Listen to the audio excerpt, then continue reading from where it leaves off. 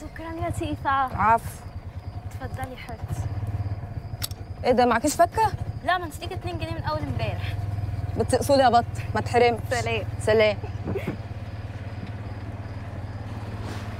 يا تيفا. انت مطبق وردية ولا إيه يا اسد فكك مني يا حوده مش ناقصاك ها؟ طب ما تاخديني معاكي لفة. لحد الميدان. لا دي مكنة حلال يا بورا. بجد؟ آه والنعم. يعني ما بتشيلش حشاشين.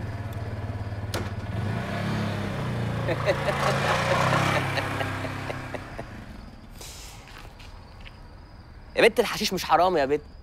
حتى اسال الشيخ سيد. آه. حتى أنت يا توك توك. معلش. بكرة تفرج من وسع وتفتح بابها على الآخر.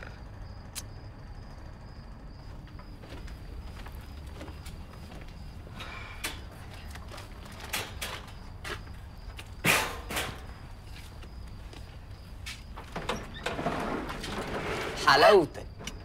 وانت قافل يا أسد. يا دي النيلة السودا عليا. وبعدين معاك يا حودة إحنا مش هنخلص بقى ولا إيه؟ بإيدك يا قمر انت اللي في إيدك تخلصنا وانت اللي في إيدك تريحنا. لا يا حبيبي أنا مرتاحة كده وزي الفل. خليك أنت بس في حالك. كدابة في أصل وشك يا موحة. عليا النعمة أنت عايزاني وعينك مني. بالأصول. بالأصول يا حودة وبشرع ربنا.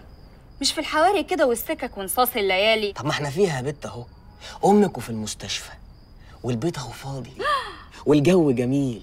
ها قلت إيه بقى؟ بس ما انت مش مكسوف من نفسك. لا. انت عايز تستغل ان امي قاعدة في المستشفى بقالها شهر باخويا اللي بيموت ده؟ وقاعد كده يا اخويا ترازي فيا في الرايحه والجايه. معذور يا موحه معذور والعشق مدوخنا يا بت العشق لا يا حبيبي. ده الحشيش اللي مدوخك فوق يا فايبريشن. فوق.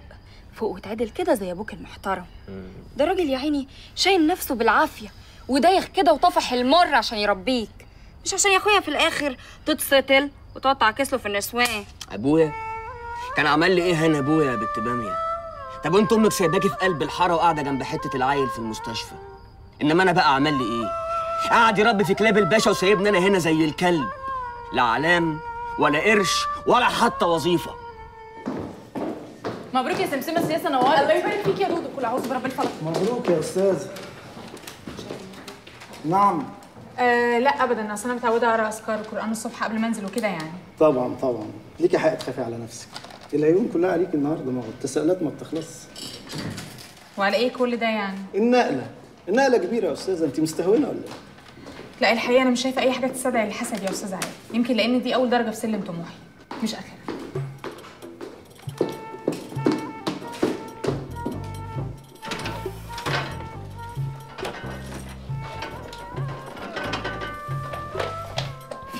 الورق فين الورق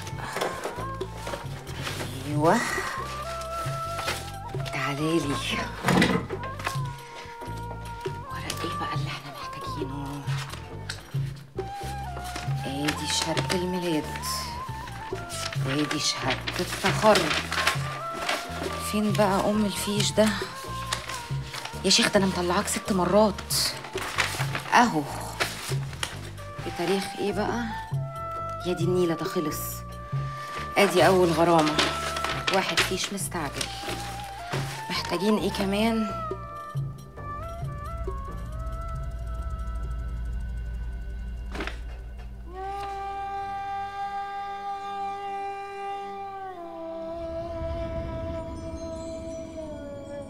ازيك يا شيرين؟ الحمد لله حضرتك. شيرين انت تقديرك العام جيد جدا؟ مظبوط. وفي سنة تالتة كمان عشر درجات فرق بين الامتياز. عظيم. ساكنة فين بقى في السيدة نفيسة يا شيرين؟ 19 حارة الدراويش. تقدمت قبل كده في الخارجية والقضاء والجهاز المركزي. مظبوط حضرتك. لكن ما حصلش نصيب بقى.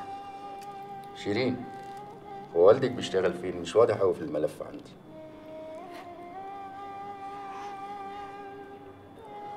الصرف الصحي. الصرف الصحي وظيفة إدارية ولا حاجة تانية؟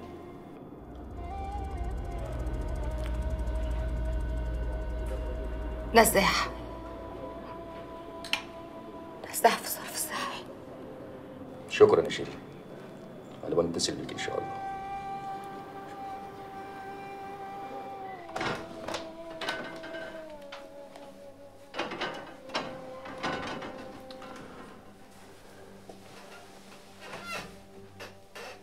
بتعيطي ولا إيه؟ انت لسه ضحكتك كانت منورانا كلنا ومفرحانا ليه الدموع دي في عينيك يا بنتي؟ ما دي دموع الفرح برضه يا بابا. دموع الفرح تنور العينين مش تطفيها. وأنا تايه عنك يا شيرين؟ صدقني يا بابا أنا كويسة قوي هاكلها بمزاج المرة دي بس على الله تكوني بتكدبي عليا.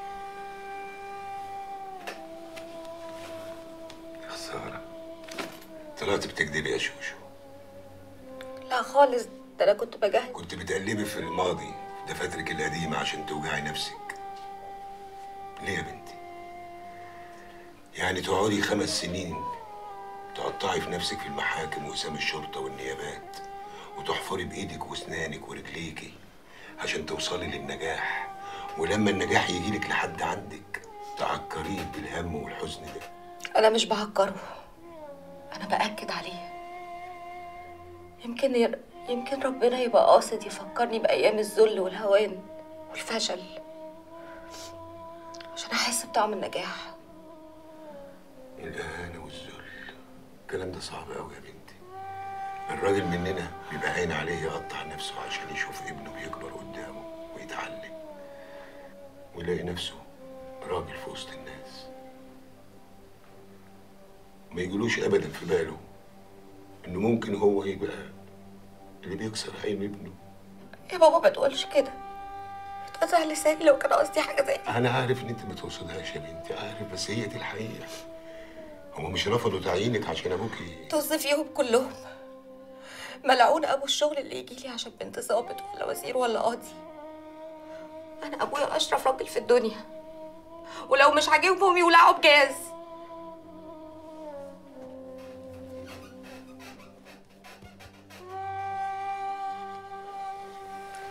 يا بابا يا بابا عشان خاطري.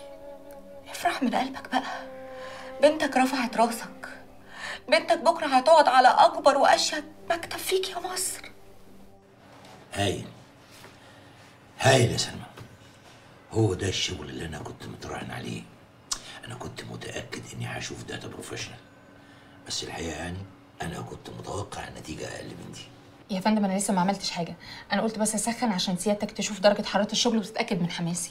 أنا عارف طبعا إنها معلومات مبدئية وتقريبا معروفة للكل بس أسلوب الدراسة وتحديد النقط السخنة في الملف هايل يا سلمى.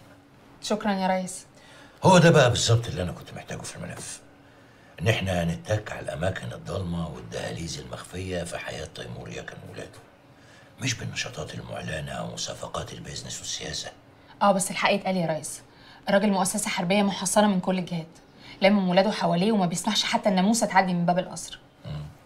ماشي. بتحلي شغلك عشان نقدرك بزيادة. والله العظيم ابدا يا ريس أنا بقول الحقيقة. وحتى لو مش الحقيقة حقك.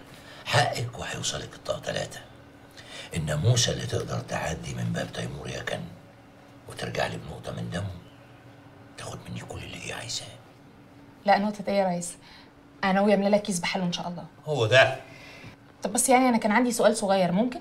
آه اتفضلي إشمعنى عيله تيمور يكن بالتحديد اللي سيادتك مهتم بيها؟ يعني البلد مليانة رجال أعمال كتير عليهم علامات استفهام يا يا سلمى فكرت قوي في السؤال ده.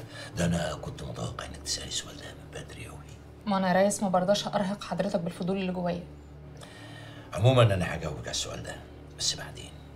بعدين هجاوبك إجابة ترضي الفضول اللي جواكي وتريحك. بس دلوقتي خلينا في التنفيذ. بما إنك جدولتي أبطال مسرحيتك وعملتي لكل بطل فيهم بند مستقل. أسألك أنا بقى ناوي تبتدي بمين؟ اكثرهم غموضا يا ريس مارجريت